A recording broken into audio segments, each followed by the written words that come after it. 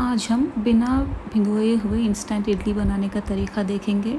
इसके लिए हमने वन बोल उड़द दाल लिया हुआ है। उड़द दाल को हमने दो से तीन बार अच्छे से धो के वाटर क्लियर होने तक धोना है और उसको फ़ौरन ही हम ग्राइंड कर लेंगे। यहाँ पर मैंने ड्राई स्पाइसेस जिसमें हम लोग पीसते हैं, वो जार लिया हुआ है। उसमें हमने थोड़ा उड़द दाल लिया है और उसमें वन टीस्पून मेथी डाला है। अब इस हम इसको ड्राई ग्राइंड करेंगे, बिना पानी ऐड किए हुए।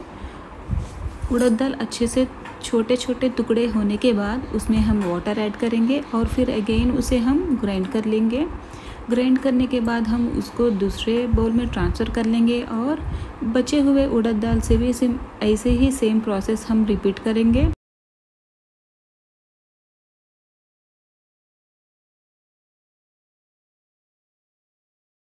सभी उड़द दाल पीसने के बाद हम वेट ग्राइंडर लेंगे। उसमें थोड़ा पानी ऐड करने के बाद जो भी हमने उड़द दाल को पीस कर रखा हुआ है मिक्सर में, हम इसको ऐड कर लेंगे।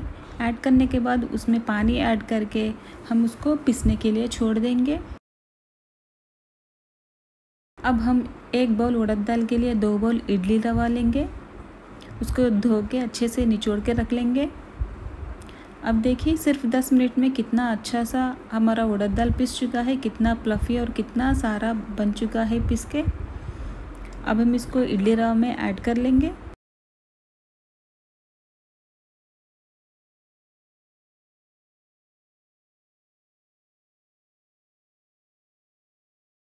इसमें थोड़ा सॉल्ट ऐड कर लेंगे, जितना आपको चाहिए आप उतना ऐड कर सकते हैं।